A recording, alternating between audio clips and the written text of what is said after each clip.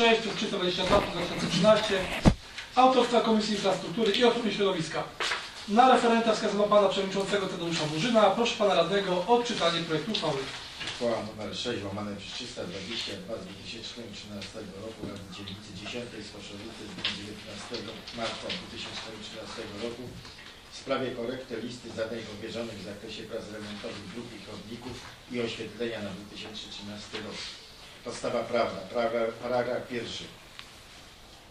Rezygnuje się z realizacji zadania umieszczonego na liście rankingowej zadań powierzonych w zakresie prac remontowych dróg chodników oświetlenia na 2013 rok pod nazwą remont chodnika z ulicy Poromińskiej na długości 50 metrów bieżących, jednocześnie przesuwając w to miejsce zadanie pod nazwą montaż ogrodzenia w ciągu ulicy Zakopiańskiej na przedłużeniu ulicy Inicjatywy Lokalnej, drugi etap.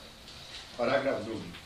Rezygnuje się z realizacji zadania umieszczonego na liście rankingowej zadań powierzonych w zakresie prac remontowych dróg chodników i oświetlenia na 2013 rok pod nazwą wymiana dywanika asfaltowego w ciągu ulicy Wiślewickiej na odcinku od skrzyżowania z ulicą Bochnaka do skrzyżowania z ulicą Rymanowską na długości 250 metrów bieżących, jednocześnie wprowadzając w to miejsce zadanie pod nazwą remont nawierzchni ulicy Czubnowskiego.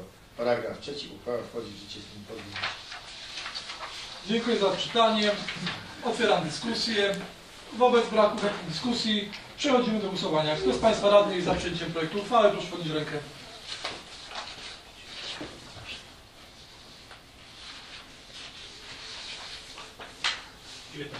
Dziękuję bardzo. Czy ktoś jest przeciw? Czy ktoś się wstrzymał?